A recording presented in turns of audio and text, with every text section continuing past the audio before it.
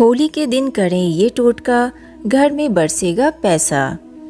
रंग वाली होली को राधा कृष्ण के पावन प्रेम की याद में भी मनाया जाता है। होली रंगों का त्यौहार होता है। इस दिन लोग एक दूसरे को रंग लगाकर इस दिन को सेलिब्रेट करते हैं। होली का दिन घर के वास्तु में सुधार करने के लिए एक अच्छा दिन है। इस दिन भगवान हनुमान जी की पूजा का आयोजन करना काफ़ी शुभ होता है। पूजा करने से नकारात्मकता दूर होती है।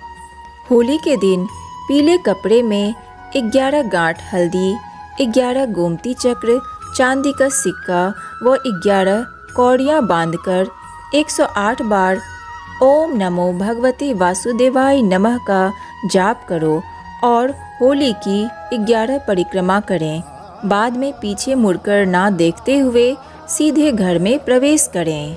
होली के दिन घर के मंदिर में भगवान को गुलाल लगाएँ।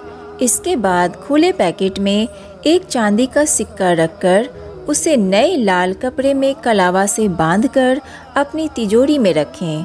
धन लाभ होगा। होली के दिन पीले कपड़े में एक गांठ हल्दी के साथ एक चांदी का सिक्का बांधकर तिजोरी में रख दें। वर्ष भर माँ लक्ष्मी की कृपा बनी रहती है। तो आज के लिए बस इतना ही।